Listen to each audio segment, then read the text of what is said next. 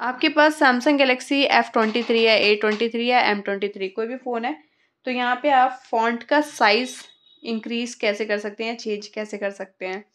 तो इसके लिए आप सेटिंग पे जाएँगे, इस टाइप से ऑप्शन आएगा, और इसके बाद यहाँ पे आपको डिस्प्ले के ऑप्शन पे क्लिक करना है। और यहाँ पे फ़ॉन्ट साइज़ एंड स्टाइल इस पर क्लिक करेंगे। यहाँ पे फ़ॉन्ट का स्टाइल चेंज कर सकते हैं फ़ॉन्ट को आप बोल्ड कर सकते हैं। जैसे बारीक कम दिखता है तो इससे आपको थोड़ा सा मोटा अक्षर और गाढ़ा सा दिखेगा। और जैसे कि फ़ॉन्ट का साइज़ यहाँ पे डिफ़ॉल्ट ऐसे रहता है। तो इसको आप इंक्रीज़ कर सकते हैं। इतना बड़ा।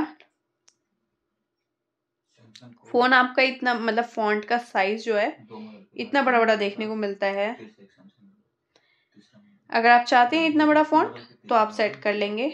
अदरवाइज़ यहाँ पे कम करना है तो यहाँ से आप जाके डिस्प्ले फॉन्ट साइज़ कम करके बैक कर लेंगे।